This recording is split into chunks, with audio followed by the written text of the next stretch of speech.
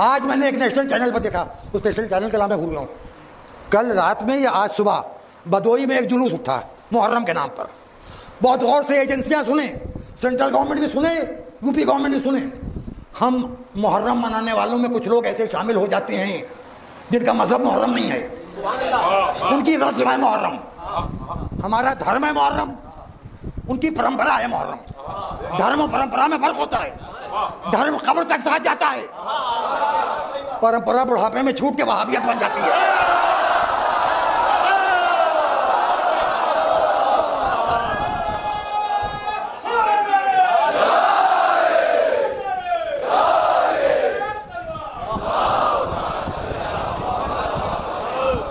आज, कल रात को या आज बदोई में एक जुलूस उठा और उसमें फ़िलिस्तीन का झंडा था। ठीक है, इनकलाब ईरान के बानी आयतुल्लाज़मा खुमैनी ने मसल कबल अव्वल की तरफ़ उम्मत मुसलिमा को बेदार किया। हम गिरेगा नहीं, डरो नहीं। गिरेगा नहीं, डरो नहीं। गिरने वाले मजलिसों में नहीं आते।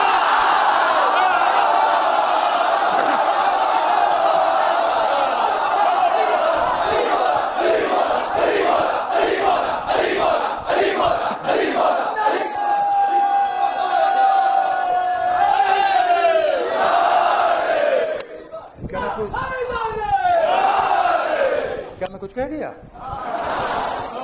क्या मेरी कोई बात आप लोगों को? ज़्यादा नागावार गुजर गई। जो इतना ज़्यादा आप रिएक्ट करने लगे। जुलूस में फिलिस्तीन का झंडा था। आयतुल्ला खुमैनी ने कबल अव्वल की तरफ़ मुतवजह किया और उन्होंने पहली मरतबा दुनिया इस्लाम को मुसलमानों को ये नारा दिया कि आखिरी जुमा जो है रमज़ान का जुमतुलविदा उसको योम कुछ के तौर पर मनाया जाए। उन्होंने जो इतना अशरी शिया मुस्तहद जाम शराय थे उन्होंने भी फिलिस्तीन का मामला रमज़ान पर छोड़ा है, मुहर्रम पर नहीं छोड़ा।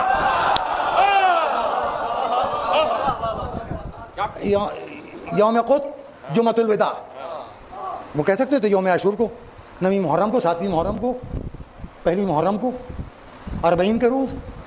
उनका आज़ादारी अपनी जगह पर रहे। और नमाज़ जुमा के बाद सब ये कहें कि भाई इसराइल गासिब है। और ये तबल अव्वल है, एक कंट्रोवर्सी है, वो हल हो या ना हो, उसके खिलाफ एहतजाज ज़रूर होता है, लेकिन रमज़ान में होता है। ये मुहर्रम के जुलूस में जो फ़लस्तीन का झंडा उठाया गया है, सिर्फ़ इसलिए कि मुहर्रम के जुलूस बंद कर दिए जाएँ। हिंदू भाई ये नहीं जानते हमारा उनका फ़र्क। हम फिर कह रहे हैं, हमारा धर्म है मुहर्रम, कुछ लोगों की परंपरा है मुहर्रम, जिनकी परंपरा है उनके पास झंडे अलग अलग हैं।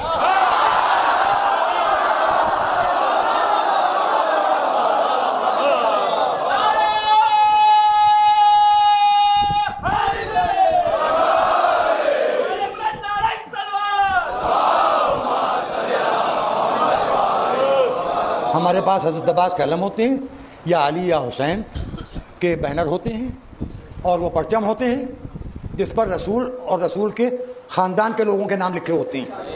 हम इधर उधर के नाम नहीं लेते। क्योंकि हमें ये सिखाया गया है, नमाज़ पढ़ो तो किबला रुख पढ़ो, इधर उधर देख के।